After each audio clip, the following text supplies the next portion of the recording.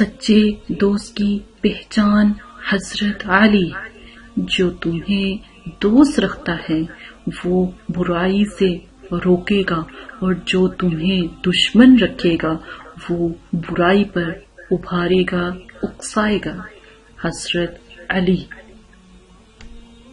سچے دوست اور محبت کی پہچان، دوست وہ ہے جو دوستی کا حق دوستی کی غیر موجودگی میں ادا کرے اور غیروں کی محفل میں اس کی عزت اور مقام کی حفاظت کرے۔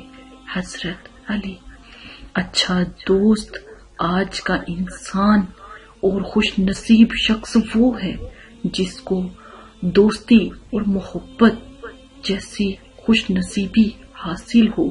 حضرت علی، اگر تم کبھی مصیبت میں ہو تو یہ مت سوچو کہ کون سا پیارا، کون سا دوست، کون سا چاہنے والا کام آئے گا، بلکہ یہ سوچو کہ اب کون سا دوست چھوڑ کر جائے گا، اس کی اصلیت اب کیسے بے نقاب ہوگی، حضرت علی۔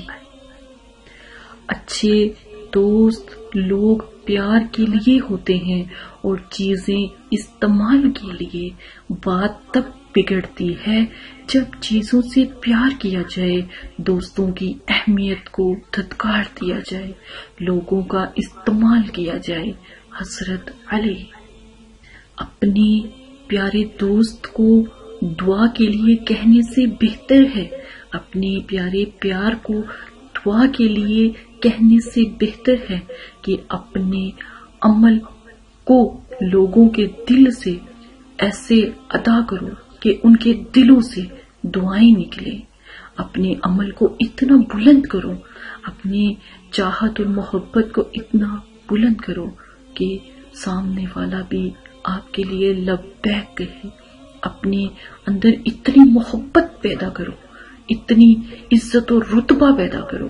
کہ آپ کا پیارا، آپ کا دوست، آپ کا چاہنے والا اس کے دل سے ہر لمحہ، ہر پل دعا نکلے، حضرت علی۔ دنیا میں